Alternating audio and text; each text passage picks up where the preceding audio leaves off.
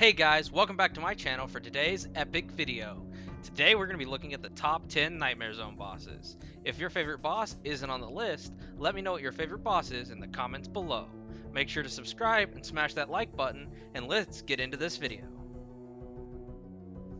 Coming in at number 10, we have the Moss Giant. This guy from the Roving Elves quest is a great boss for hard mode combat training with Dharoks. He gives a nice 7.5% bonus XP in hard mode.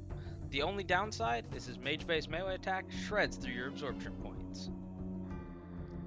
Up next in number 9 we have the Kendal. This guy is basically just RuneScape's original furry. Straight from the Mountain Daughter quest, he's great for AFK training, but due to his large size, he sometimes blocks himself from being able to attack you, ruining your training. For number 8, we have everyone's classic first members boss, the Tree Spirit. Brought straight from the caves under Entrana to a nightmare near you, this guy offers nothing special but a bit of nostalgia. He makes for a decent filler boss with AFK training. In lucky number 7, we have the Inadequacy.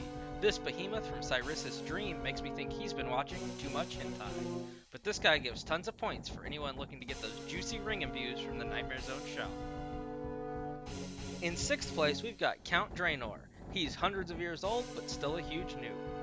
He has basically no stats, and he's great for AFK training, but his low hit points means that high level players can one hit him and not get their full potential.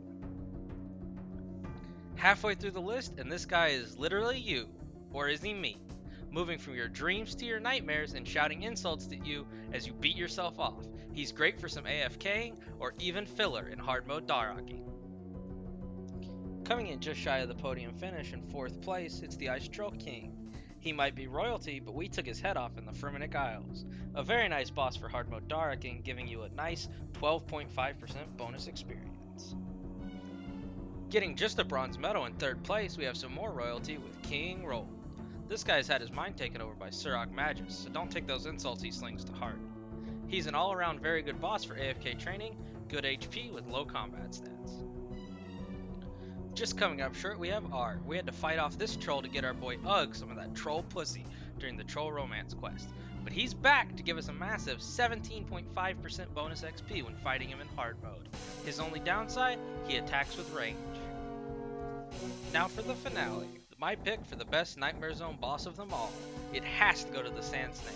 This serpent from the depths of despair has more hit points and even lower defense from the old man Count Draynor. The future is now, old man, and is brought to us by the Sand Snake, an amazing boss for AFK and as a hard mode filler.